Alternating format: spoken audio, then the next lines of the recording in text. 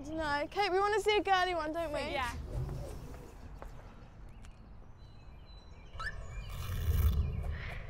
Alex, deal with your love life later. Just come on, let's get in the car. Might be able to get there before the sequel, yeah? Look, mate, you drive. I bet you his mum doesn't even know he's got the car. I still can't believe he passed first time, Alex. Oh, Alex, you have to be in the driver's seat to drive, you know.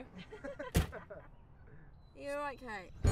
Alex, just get in, Come on. Alex, it's not a video game now. You need the keys to drive the car.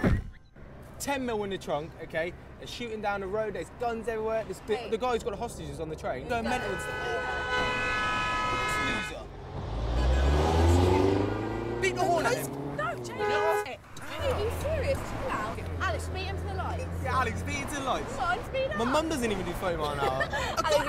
Go faster. Go, go, go.